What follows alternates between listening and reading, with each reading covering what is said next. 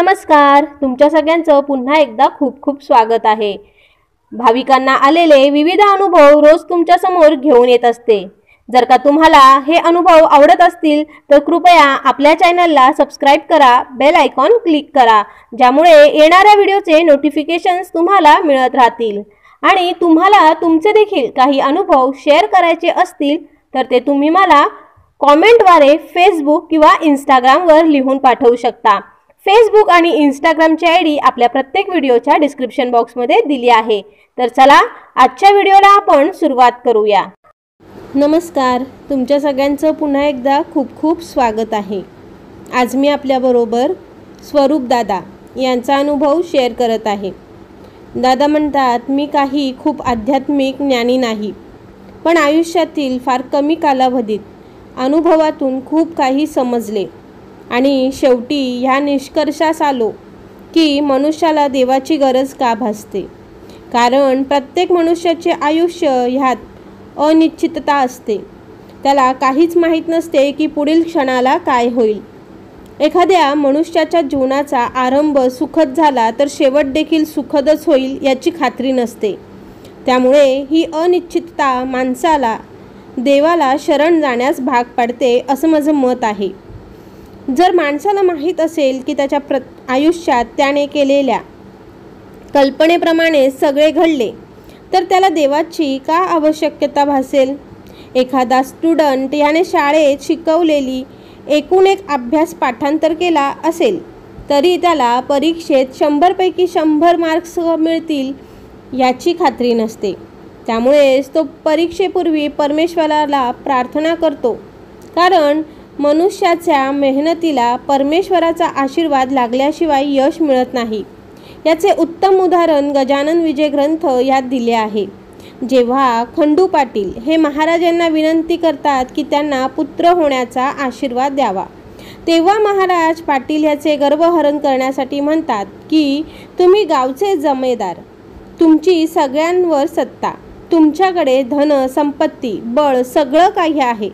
मग त्या परमेश्वराला का नाही आदेश देत पुत्र व्हावा म्हणून? तेव्हा पाटील हे महाराजांना विनम्रतेने म्हणतात शेतकरी हा पीक घेण्यासाठी सगळी मेहनत घेत असतो पण ते पीक येण्यासाठी जे पाणी लागतं ते घण म्हणजे आभाळ भरून पाऊस पडल्यावरच उगवते व तो पाऊस पाडणे फक्त त्या परमेश्वराच्या हातात असते. तसेच मनुष्याच्या हातात प्रयत्न करणे हाच एक उपाय असतो पण त्या प्रयत्न ह्यांना यश देणे हे त्या परमेश्वराच्या हातात असते. मग महाराज पाटील यांची विनंती ऐकून त्याला मूल व्हावे असे परमेश्वराच्या प्रार्थना करतात व त्याला मूल होते. या प्रसंगावरून देखील हेच दिसून येतं की मनुष्याची बुद्धी बल संपत्ती हे जेव्हा कुचकामी ठरतात तेव्हा एकच स्थान असते जिथे मनुष्याला त्याच्या संकटातून बाहेर पाडण्यासाठी आशेचा किरण असतो व तो म्हणजे परमेश्वर. आता मला ह्याचा अनुभव आला तो इथे सांगतो. मी M P S C U P S सीच्या परीक्षा देण्यासाठी खूप अभ्यास करत होतो. मला चांगला जॉब मिळावा म्हणून मी कुठलीही कसर सोडली नव्हती. पण दिवस रात्र मेहनत करून देखील हाती अपयश येत. मी हळूहळू निराशावादी होत गेलो. वय वाढत चाललं होतं. शेवटी मिळेल ती नोकरी करण्यासाठी प्रयत्न सुरू केले. खूप ठिकाणी अप्लाय केले इंटरव्ह्यू दिले पण शेवटी निराशा हाती येत होती. एका क्षणाला तर इतका निराश झालो की वाटू लागलं आपल्यातच कमीपणा आहे. कुठं तरी कमी पडतो म्हणून यश नेहमी हुलकावणी देत आहे. मी त्यावेळी जास्त देवाला मानत नव्हतो.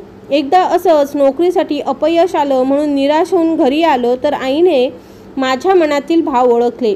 माझी आई जास्त शिकलेली नव्हती पण तिचे आध्यात्मिक वाचन इतके होते की ती भले भले डॉक्टर वकील यांना प्रश्न विचारून निरुत्तर करत. तिने पाहिले की मी सारखे प्रयत्न करून देखील मला नोकरी मिळत नाही. त्यामुळे मी निराशावादी होऊन प्रयत्न करणे सोडून देण्याचा विचार करू लागला आहे. व मी कुठल्याही प्रकारे सांत्वन करूनही माझे समाधान होणार नाही म्हणून तिने मला काही बोलून समजवण्याचा प्रयत्न केला नाही. पण तिला एक आई म्हणून मुलाची निराशा घालवायची होती त्यासाठी ती कुठला ना कुठला मार्ग काढणारच होती. मग तिला माहीत होतं की माझी जेवणाच्या बाबतीत नेहमी कुरबूर असते. मला जेवणात हे नको ते नको असं खूप कटकट असते. याच गोष्टीचा आईने फायदा घेण्याचं ठरवलं. तिने मला सकाळी जेवणात जी बटाट्याची भाजी दिली होती तीच भाजी रात्रीच्या जेवणात दिली. ते पाहून मी आईवर चिडलो व तिला म्हटलं काय गाई सकाळ संध्याकाळ तीस तीस भाजी जेवणात कंटाळा नाही का येत खायला? तेव्हा आई म्हणाली तुला कंटाळा जरी आला तरी तू ती खातोस ना? का उपाशी राहतो? कारण तुला माहीत आहे माणूस जितका उपाशी राहतो तितकी त्याची भूक वाढते आणि मग तो काहीही खातो. जेव्हा आई मला असं कोड्यात बोलू लागली तेव्हा मी लगेच समजलो की आईला आपल्याला काहीतरी सुचवायचं आहे कारण आई असे उदाहरणे देऊन तेव्हाच बोलते जेव्हा समोरचा एखादी गोष्ट सरळ शब्दात समजूनही समजून घेण्याचा प्रयत्न करत नाही. मग मी गपचूप जेवलो व आई मला जे बोलली त्याचा अर्थ समजून घेण्याचा प्रयत्न करू लागलो. मी विचार करतच बसलो होतो. तेव्हा थोड्याच वेळात आई तिचं सारं आवरून माझ्याकडे आईस्क्रीम घेऊन आली. मग ती आईस्क्रीम पाहून मी खुश झालो आणि माझा मूड बदलला. मग मी आईलाच विचारलं की बघाशी जेवताना तुम्हाला अशी का म्हणालीस? तेव्हा आई घालातल्या घालात हसत म्हणाली बाळ तू एकच भाजी दोन वेळा खाण्यास कंटाळा करतो पण तुला माहीत असतं की उपाशी राहून भूक आणखीन वाढते. त्यामुळे तू ती भाजी मुकाटाने खातो पण उपाशी राहत नाही. ही तर शरीराची किमया आहे. जर माणूस उपाशी राहिला तर त्याची भूक वाढते आणि शरीराची गरज पूर्ण करण्यासाठी मनुष्य सगळं काही खातो. हीच गोष्ट जेव्हा आपण आपली मनाची भूक म्हणजे आपली इच्छा प्रयत्न करून देखील पूर्ण होत नसेल तर ती भूक वाढली पाहिजे कमी होऊ नाही दिली पाहिजे. जोपर्यंत आपली इच्छा म्हणजे भूक भागत नाही तोपर्यंत ती भूक वाढत गेली पाहिजे. मला आईच्या बोलण्यामागील उद्देश कळला. मग मी माझ्या मनातील सगळी निराशा झटकली व मला जोपर्यंत यश मिळत नाही तोपर्यंत माझी नोकरी मिळवण्याची भूक वाढतच जाईल अशी मानसिकता तयार केली. पुढे आईने मला नोकरीसाठी माझे इतर प्रयत्न यासोबत महाराजांचे पारायण सुरू करावे असं सुचवलं.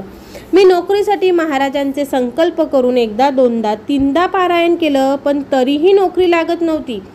पण मी जेव्हा चौथ्या वेळी पारायण करायला बसलो तेव्हा महाराजांना म्हटलं की माझे सरकारी नोकरीसाठी आता ही शेवटची संधी आहे.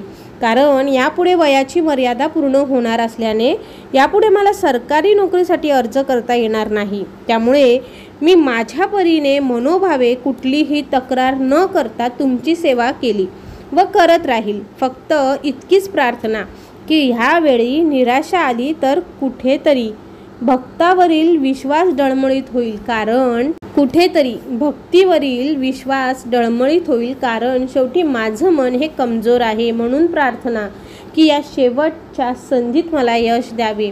मी कधीही तुमचे चरण सोडणार नाही अशी प्रार्थना केली व पारायण केले. व खरंच माझ्या भाग्यात कदाचित सरकारी नोकरी नव्हती त्यामुळे तितके प्रयत्न करून देखील मला यश मिळत नव्हते.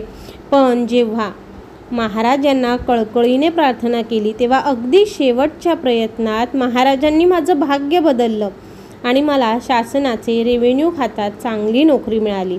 मी तर इतका भावूक झालो की मला महाराजांचे आभार कसे मानावे हेच कळेना. पण एक मात्र नक्की मी तीन वेळा पारायण करूनही माझी इच्छा महाराजांनी पूर्ण केली नव्हती. तरीही मी मोठ्या विश्वासाने चौथं पारायण केलं. आईने सांगितलं होतं की जसे मनुष्य ची वाईट गोष्टीत भूक वाढत जाते तसेच चांगल्या गोष्टीच्या बाबतीत देखील भूक वाढत गेली तरच मनुष्याची उन्नती होते व परमेश्वर त्याला यश देतो. म्हणून मी पारायण करणं सोडलं नाही जोपर्यंत माझी इच्छा पूर्ण झाली नाही. कदाचित ही माझ्या भक्तीची परीक्षाच घेतली असेल. महाराज यांनी त्यांनी मला भाग्यात नसलेली गोष्ट मिळवून दिली त्यामुळेच तर माझ्यासाठी महाराज हे सारं काही आहेत. जय गजानन श्री गजानन गण गण गणात बोते दादा तुमचे खूप खूप धन्यवाद की तुम्ही तुमचा अनुभव आमच्याबरोबर शेअर केला. आणि तुम्हा सगळ्यांना दादांचा अनुभव कसा वाटला कॉमेंटद्वारे नक्की कळवा. अनुभव आवडला असेल तर व्हिडिओला लाईक करा आणि जास्तीत जास्त लोकांबरोबर शेअर करा. आणि तुम्ही देखील तुमचे अनुभव मला कॉमेंटद्वारे फेसबुक इंस्टाग्राम किंवा आपल्या जीमेलच्या आय डीवरती लिहून पाठवू शकता. फेसबुक इंस्टाग्राम आणि जीमेलची आय डी आपल्या प्रत्येक व्हिडिओच्या डिस्क्रिप्शन बॉक्समध्ये दिलेली आहे.